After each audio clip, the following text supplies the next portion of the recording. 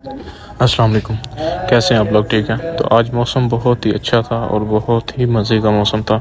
और आज हम जा रहे हैं लाहौर लोकल ही जा रहे हैं। मज़ा लोकल का ही है और रास्ते में भाई इतना खूबसूरत मौसम भाई, क्या बात है।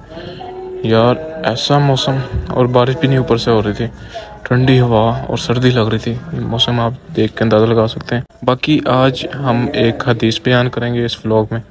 और वो हदीस ये है कि हमारे प्यारे नबी सल्लल्लाहु अलैहि वसल्लम ने फरमाया कि जिसने अल्लाह ताला की किताब का एक हरफ पढ़ा और उसको इसके बदले में एक नेकी मिलेगी और उस नेकी को दस गुना बढ़ा दिया जाएगा।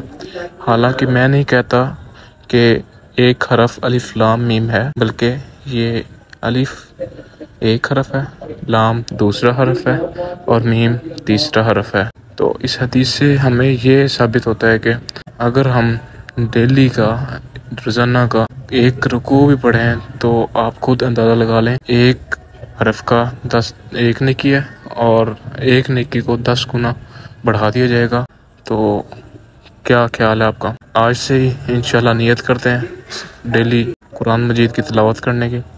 अल्लाह का कलाम है तो करनी चाहिए। तो अब हमारा जो ना आज कल दिन भी काफ़ी बड़ा हो गया था तो हम सोच रहे थे यार कब एंड होगा। हम भी अल्लाह अल्लाह करके दो लैब्स कंप्लीट किए हैं। तीसरे लेक्चर का इंतज़ार करते हुए बैठ गए हम और इधर देखें अफाक साहब भी आगे एंटर हो चुके हैं चलें अब फ्राउड से लेक्चर लेते हैं और फिर निकलते हैं। अब गर्मी भी काफ़ी हो चुकी है, आपको दिखाते हैं। ये चेक करें तो तो नज़र आ रही होगी आपको। मैं मैं भी उदास हो गया थोड़ा सा मौसम फिर गर्म हो चुका। है सुबह इतना ठंडा मौसम था, फिर गर्म हो चुका। है तो बाकी हम इधर अपने ब्लॉग का एंड करेंगे। मिलते हैं आपको नेक्स्ट ब्लॉग में। तब तक अपना ख्याल रखें, अपने इस चैनल का भी सपोर्ट करते रहें ऐसे ही। अपना बहुत सारा ख्याल रखें दुआ में याद रखें। अल्लाह हाफिज़। रुकिए, रुक रुक। ब्लॉग देखने का बहुत शुक्रिया। आपने अभी तक व्लॉग देखा और व्लॉग को लाइक कर दें, शेयर कर दें।